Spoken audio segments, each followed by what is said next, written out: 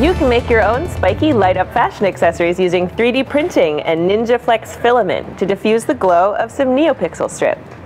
Just download the file from the link in the description below and print your spikes in white or translucent NinjaFlex. Check out our video on this awesome stuff if you haven't already. The NeoPixel strip comes in a silicone sheathing. Slide in a few taped up magnets and then use a few more to attach it to anything in your wardrobe. After soldering on some wires, glue the spikes to the sheathing of the NeoPixel strip with Permatex 66B silicone adhesive, and also use a bit to seal up the ends. Let the glue dry overnight, then connect the wires up to Gemma, the tiny microcontroller that will control the colors and animations of the LEDs.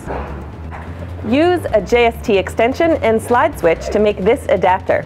The switch fits through the side of the 3D printed enclosure, also in NinjaFlex. Then you can plug in a rechargeable Li-Poly battery and pin or sew the enclosure to your garment. You can wear it over your shoulder, around your collar, on the strap of a bag, in your hair, and even wear it as a bracelet. If you're looking for something even flashier, try printing these crystal-inspired spikes, perfect for your next Cyber Dragon costume. Around the factory, we've been calling this look baby Gwar or brony punk. What would you call it? Leave your suggestion in the comments and subscribe for more wearable electronics from Adafruit.